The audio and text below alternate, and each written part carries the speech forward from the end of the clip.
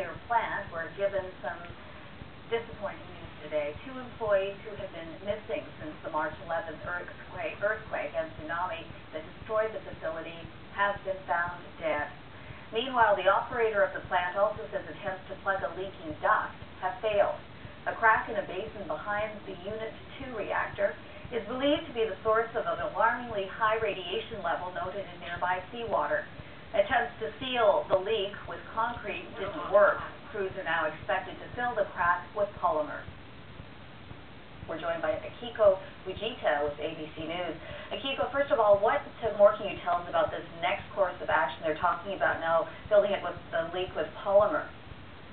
That's right. Um, the, the leak you're talking about is this crack that has formed in the pit of reactor 2. We know it's about 8 inches long, and the big concern is that there's highly radioactive water that's been leaking out of it. So uh, TEPCO, which is the company that operates the plant, has been trying to plug it. Now, they tried this morning by trying to put concrete in it. The leaks did not stop after that.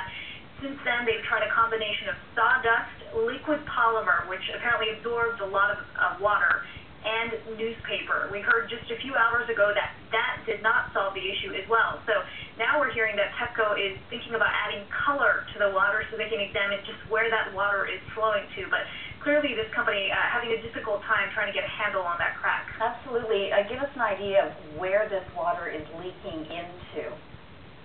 Well, we know that it's been leaking into the ocean. Um, over the last few days, we've heard of uh, radiation levels getting extremely high in seawater right around the plant.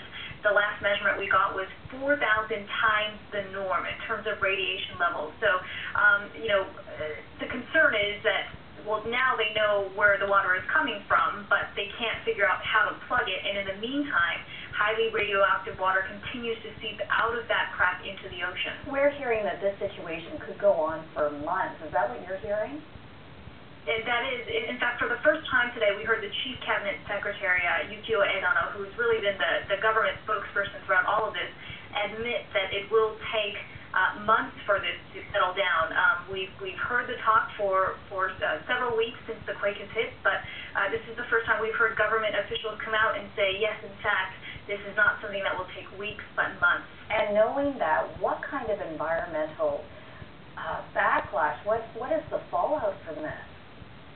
Well, you know, it's tough to say because it seems like both the company that operates this plant and the government is having a difficult time getting a handle on number one, how much radiation is, is seeping into the air, and then how much is going into the water as well. Uh, in the meantime, we're also, you know, we've also heard over the last few weeks of some uh, radiation going into the water, some going into produce, and so it's tough at this point to gauge how widespread all of this is. This is something we'll learn over the next weeks and months, but uh, I think uh, we can say without a doubt that this is going to be pretty widespread, not just limited to um, the area directly around the plant. And Akiko, how are residents reacting to government and nuclear industry efforts? Uh, is there a lot of growing frustration?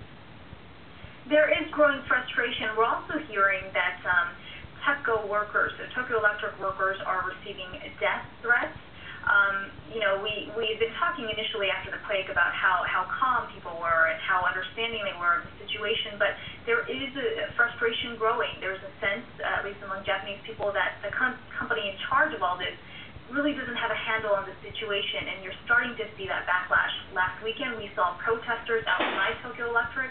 So we are starting to see anger build as the situation now enters uh, week three. And finally and quickly, what is the status of the evacuees? Um, well, the evacuees, we know, um, I guess when you look at the larger picture with victims, we know more than 11,000 have died. There are more than 10,000 still missing.